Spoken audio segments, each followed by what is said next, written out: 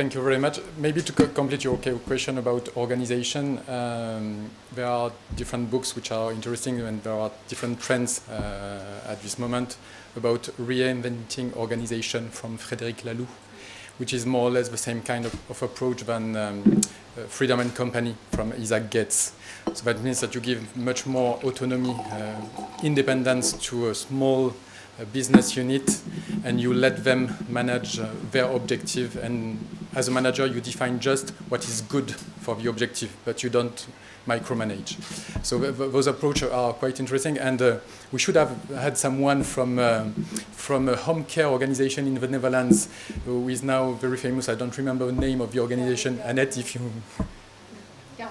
no, no, no it, it, was another one. Uh, uh, was put in place uh, this uh, kind of model, and with uh, part of in the book reinventing organization, there is the example of uh, this home care company, which is seems to be very efficient with a, a, network of nurses. So, if you want to to read more about that, that would be perfect.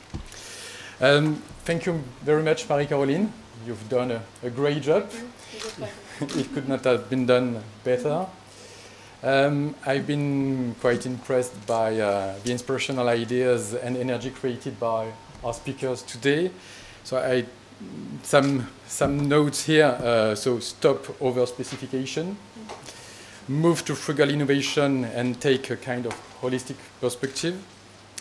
Outcome is the new income, uh, which is also a, a, a good approach the law is code. I, I, like this one. The law is code, and uh, create digital uh, confidence.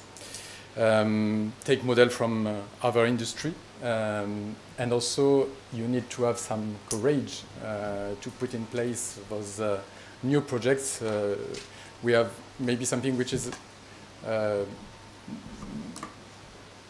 that speaks to us with Colin Schuler and with with this new model in terms of sales and uh, I, I, will uh, say what, what, I told you um, uh, at lunch. I had the, the opportunity to listen to Colin at eyeforpharma in Barcelona a few weeks ago. And she, she, did this presentation.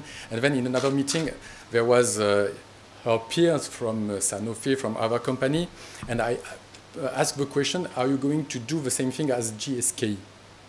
And then there was a quite of a, a kind of silence.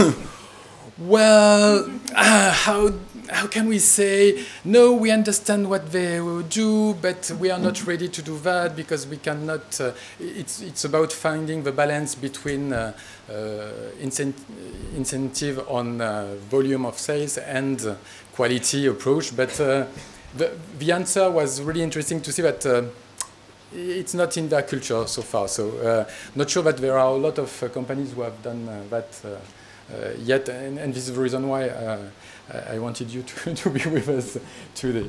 So thank you very much for all your, your presentation. Um, I hope that your ideas will spark other ideas.